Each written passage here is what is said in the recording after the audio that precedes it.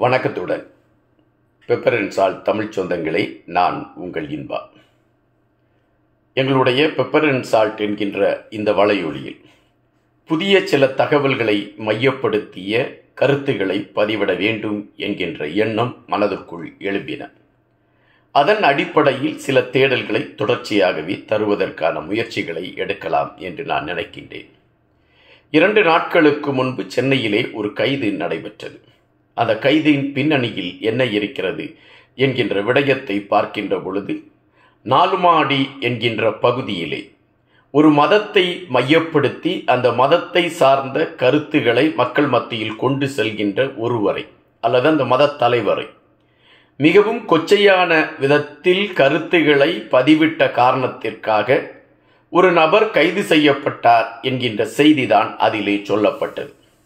உண்மையிலே அந்த நபர் அந்த மத தலைவரை இகழ்வா இழிவாக பேசினாரா இகழ்வாக பேசினாரா என்கின்ற கருத்துகள் நாம் இங்கு அதை குறித்து தேடுவதில் விருப்பமில்லை. ஆனால் மதம் பல காலகட்டங்களில் விஞ்ஞானத்திற்கு அச்சுறுத்தலாக இருந்திருக்கிறது என்பதை நாம் இங்கு உணர வேண்டியதாக இருக்கின்றது. ஒரு காலகட்டத்தில் கத்தோலிக்கம் அதாவது ஒரு குறிப்பிட்ட மதத்தை சார்ந்தவர்கள் ஒரு கருத்தை கொண்டு வந்து வைத்திருந்தார்கள்.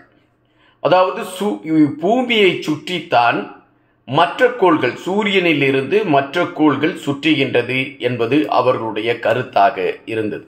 காரணம் அவர்கள் வழிபடக்கூடிய இறைவர் இந்த மண்ணில் பிறந்த காரணத்தினால் இந்த மண் தான் மற்ற கோள்களோடு உயர்வான ஒரு கோள் என்கின்ற ஒரு அடிப்படையில் அந்த கருத்தை அவர்கள் வைத்திருந்தார்கள். அது அவர்களுடைய கோட்பாடு என்று கூட எடுத்து வைக்கப்பட்டது. அந்த கோட்பாட்டின் அடிப்படையில் பூமியை சுற்றித்தான் அனைத்து கோள்களும் சுற்றி கொண்டு இருந்தது என்பதுதான் காலாகாலமாக சொல்லப்பட்ட ஒரு கருத்து. இந்த சூழலில் ஆயிரத்தி அஞ்சூறாம் ஆண்டு அந்த காலகட்டத்தில் நிக்கோபார் என்கின்ற ஒரு அறிவியல் சார்ந்தவர் அல்லது விஞ்ஞான ரீதியாக ஆய்வுகளை செய்யக்கூடியவர் முதன் முதலாக ஒரு நூலை எழுதுகின்றார். அந்த நூலில் அவர் குறிப்பிடுகின்ற விடயம் என்னவென்றால் பூமி சூரியனை சுற்றி செல்கின்றது. பூமியை சுற்றி மற்ற கோள்கள் செல்லவில்லை என்கின்றதை அவர் தத்துவ ரீதியாக எழுதி ஒரு நூலை வெளியிடுகின்றார். இந்த நூலை அவர் வெளியிட்டவுடன் அந்த மதத்தை சார்ந்தவர்கள் அந்த நூலுக்கு தடை விதித்து விடுகிறார்கள்.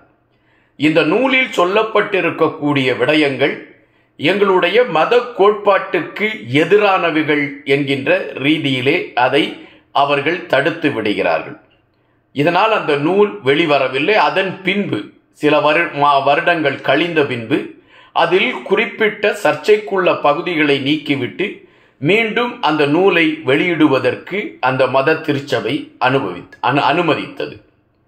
இந்த நிக்கோலஸ் அவர்கள் தேடிய அந்த தத்துவ ரீதியான கோட்பாடுகளை உள்வாங்கிக் கொண்டு கலிலியோ என்கின்ற ஒருவர் அதற்கான ஆதாரங்களை எடுத்து வைக்க தொடங்கினார். அவர் அதை தன்னுடைய தொலைநோக்கு கருவியின் மூலம் பூமி சுற்றுகின்ற விடயத்தை மையப்படுத்தியும் பூமி சூரியனை சுற்றி செல்கின்றது மற்ற கோள்களும் சூரியனை சுற்றி செல்கின்றது என்கின்ற விடயத்தை மையப்படுத்திய கருத்தை அவர் ஆதாரத்தோடு வெளியிட்டார். இந்த ஆதாரம் தாங்கள் இதுவரை கொண்டிருத்து இருக்கக்கூடிய கருத்திற்கு எதிரான ஒரு நிலைப்பாடை கொண்டிருக்கிறது என்பதை அறிந்த மத தலைவர்கள் கலிலேவுக்கு எதிரான நடவடிக்கை எடுக்க வேண்டும் என்கின்ற கோட்பாடை உருவாக்குகிறார்கள். வழக்கு நீதிமன்றத்திற்கு செல்கின்றது. கலிலேயாவை கூப்பிட்டு நீதிபதி விசாரணை செய்கின்றார். நீதிபதிக்கே தெரியும் கலிலேயா குறிப்பிடுகின்ற கருத்து உண்மைதான் என்று. ஆனால் மதத்தை மீறி நீதிபதி செயல்பட முடியாது என்கின்ற அந்த சூழல் வருகின்ற பொழுது கலிலேயாவிற்கு அவர் சிறை தண்டனையை வழங்குகின்றார். அதுபோல மதத்தின் முன்பு அவர் மண்டியிட்டு மன்னிப்பு கேட்க வேண்டும் என்கின்ற ஒரு கட்டளையும் பிறப்பிக்கின்றார். உலக அரசியல் களத்தை நாம் எடுத்து பார்க்கின்ற பொழுது பல சாம்ராஜ்யங்கள் உருவாகி இருக்கக்கூடிய கதைகள் இருக்கின்றன. அப்படி உருவாகிய சாம்ராஜ்யங்கள் அனைத்துமே ஏதாவது ஒரு மதத்தின் கட்டுப்பாட்டில் இயங்கக்கூடிய ஒரு நிலைப்பாட்டைத்தான் நாம் பார்த்திருக்கின்றோம். மதவாதிகள் மதவாதிகள் என்கின்ற போர்வையிலே அரசியல்வாதிகளாகத்தான் பயணித்திருக்கிறார்கள் என்பதை உலக வரலாறுகளை புரட்டி பார்க்கின்ற பொழுது நமக்கு உண்மைகள் தெரியும். அப்படித்தான் கலிலேயா தன்னை தான் சார்ந்திருக்கக்கூடிய மதத்தை அல்லது எதிர்காலம் ஒரு மதம் சொல்லி வந்த ஒரு கருத்தை எதிர்த்து நாம் கருத்துக்களை பதிவிட்டிருக்கின்றோம். இந்த மதம் நம்மை நிம்மதியாக வாழ விட்டு விடாது. காரணம் அவர்களுடைய தத்துவ ரீதியான கோட்பாடுகளை நாம் தகர்த்திருக்கிறோம். இதை அந்த மதம் ஏற்றுக்கொள்ளாது என்கின்ற தவிப்பு கலிலேயாவுக்கு. இன்னொன்று தன்னுடைய உயிர் பாதுகாக்கப்பட வேண்டுமென்றால் மத தலைவர்களிடம் மன்னிப்பு கேட்டு விடுவதுதான் சால சிறந்தது என்று கலிலேயா நினைக்கின்றார். எனவே அவர் மத குருக்கள் முன்பு மண்டியிட்டு மன்னிப்பு கேட்கிறார். மண்டியிட்டு மன்னிப்பு கேட்டவுடன் இந்த பிரச்சனை முடிந்துவிட்டது என்று நீங்கள் நினைக்காதீர்கள். அவை கலிலேவா கலிலேயா மன்னிப்பு கேட்டுவிட்டார் என்கின்ற பதத்தோடு முடிந்து விடுகிறது.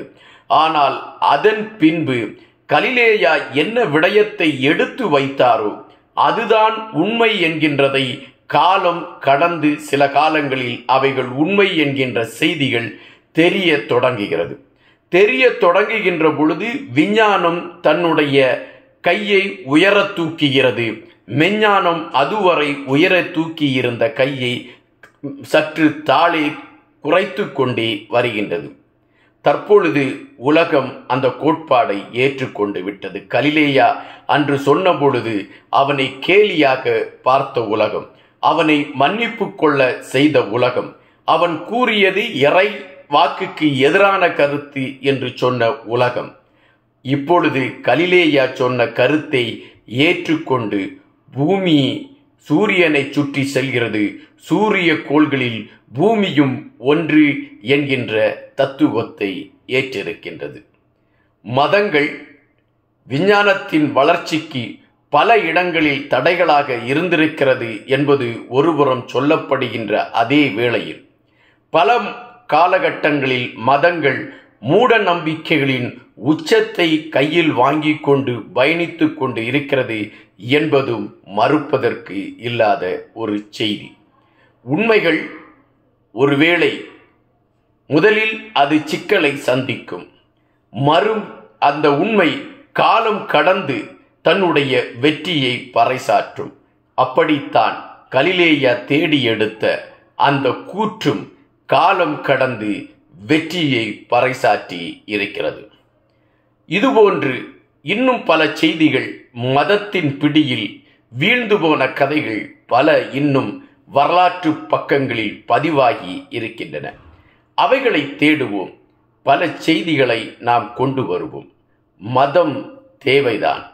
மதம் நம்மை பிடிக்காத அந்த நிலை வரை மதம் தேவைதான். நன்றியுடன் இன்பா